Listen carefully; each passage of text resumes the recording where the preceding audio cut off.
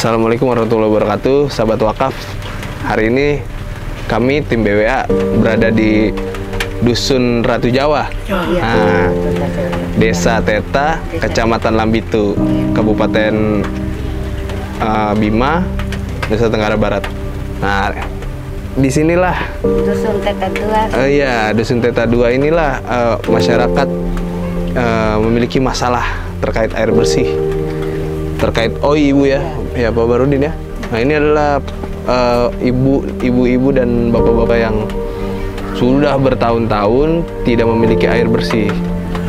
Ya air bersih. Oi susah begitu ya. Ada jauh di gunung sana? Jauh. jauh sekali. Ya. ibu pernah bawa ambil air ke sana? Anu pakai pakai drigen begitu?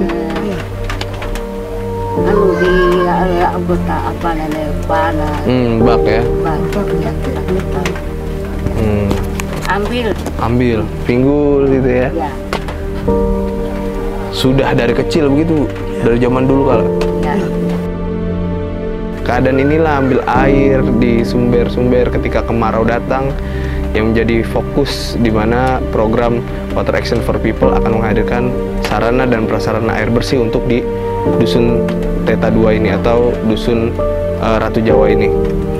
Untuk itu para wakif, sahabat wakaf sekalian mohon doa, mohon dukungannya untuk berwakaf melalui program Water Action for People Desa Teta di Badan Wakaf Al-Quran.